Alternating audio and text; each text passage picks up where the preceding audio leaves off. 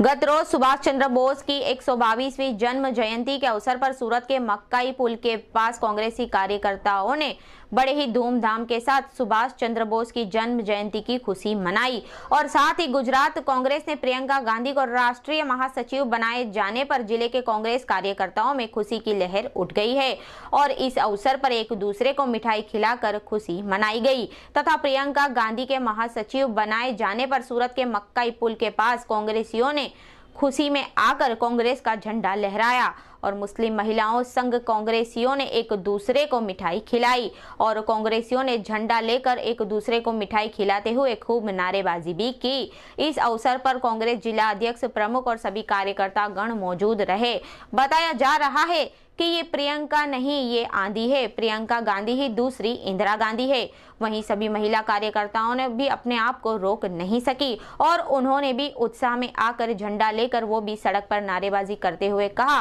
कि हम सबकी मांगे पूरी हुई इस तरह कांग्रेसियों ने जमकर नारेबाजी की और एक साथ दो दो अवसर की खुशी मनाई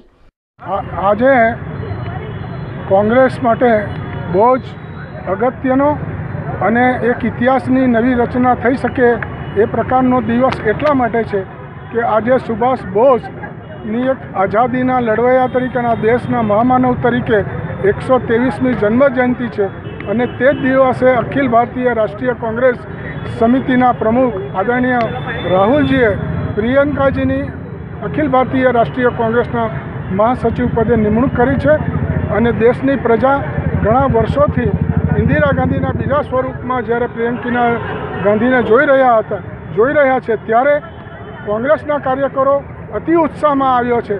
અને એ અતિ ઉત્સાહની ઉજવણીના ભાગરૂપે આજે સુરત શહેર કોંગ્રેસ સમિતિ આ કાર્યક્રમ રાખ્યો છે અને પૂરી સુરત શહેરની જનતા અને સુરત શહેર કોંગ્રેસ સમિતિ વતીથી રાહુલજી